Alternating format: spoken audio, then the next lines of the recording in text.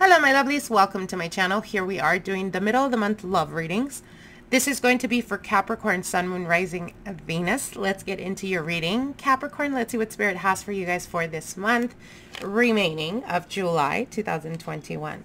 Now your first card here is the Prince of Wands, the Two of Cups, the Four of Wands, the Temperance card. Wow. Whoa. And the World card. All right, Capricorns. Y'all are on fire. Just saying. All right. So you are definitely re-energized, revigorated, uh, Capricorn. Um, if there was some type of resistance or if there was lack of movement, that is no longer going to be the case. I hear for some of you guys, especially those of you guys that have been dealing with a person that perhaps either pulled away or they weren't as emotionally available, that's quickly going to be changing. I see communication coming in very quickly, and this is very open and intense communication. So it's almost like they are in their feels about you, Capricorn, and they're definitely professing their love or they're definitely confessing feelings that they have for you and the desire to want to elevate or grow in this connection. Uh, the card that's representing your partner is the Two of Cups. So the Two of Cups is emotionally availability, but it also speaks about uh, a higher form of commitment. This is a person that is wholeheartedly invested in trying to see this connection prosper. With the Four of Wands, you know, I mean, come on. This is the relationship or dynamic, and the Four of Wands is stability. For some of you guys, there could be wedding um, I see some type of higher elevation. It could be either commitment. It could be if you guys are not exclusive, this is taking it to the next level, becoming official. For others of you, if you've been in a committed relationship, this is the elevation of commitment. So this is an engagement or a wedding itself. I see this unfolding from now all the way to September for some of you guys, but there is definitely a higher form of commitment that is going to be unfolding for you uh, especially with the Four of Wands here and the World card. So remember, the world is an ending cycle. So if you've been dealing with this person for a while um, and you're not exclusive, the exclusivity will be unfolding. They are wanting, they're coming towards you, and they're definitely uh, confessing their feelings. Or it could be that they are in their feelings because they see you really being empowered. They see you drawing in a lot of attention and this is them not wanting to share that type of, uh, not wanting to share uh, your, you know, attention or not being willing to uh, feel like they could miss out on an opportunity. So they're definitely drawing in close and saying, hey, you know what, Capricorn, I feel that at this point, you know, it's really, I am emotionally invested in you. I feel that we should, you know, take it to the next level. For others of you, like I said, if there is already, eh, you know, some type of commitment, I definitely see wedding bells.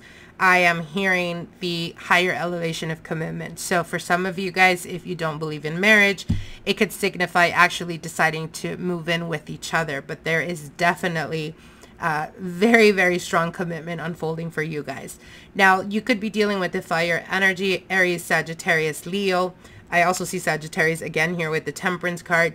For others of you, you may be dealing with water energy, Pisces, Cancer, Scorpio. Um, I see Taurus here as well, but and as well as air signs because I am seeing here the eagle, which could indicate um, not the eagle, the eagle. um, so it could indicate uh, air energy, Aquarius, Libra, Gemini.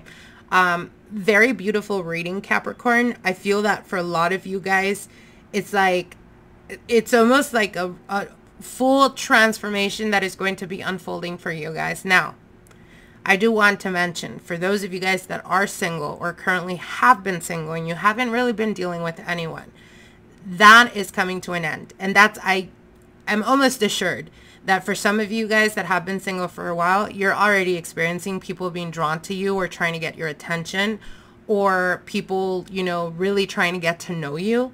And it's almost the feeling of like surprise because you're like wait what? Uh, my love life was kind of dead and all of a sudden it's like you're a hot commodity what they're telling you here capricorn is stand in your power because there is a higher form of commitment that's coming through so for those of you guys that have been single for quite a while and you're not dealing with anyone right now um, with the two of cups i do see a person that is emotionally open this is a person that you know, could be stable, potentially has their life together and feels that at this point they're ready to share their life with someone. Um, it's almost like they've been on this journey of self-growth, self-improvement. I feel that they're there now and it's the acknowledgement of knowing that it would be much more balanced or more beautiful to be able to share the good and bad of life with the partner. So this person is coming in being extremely, like I said, emotionally open.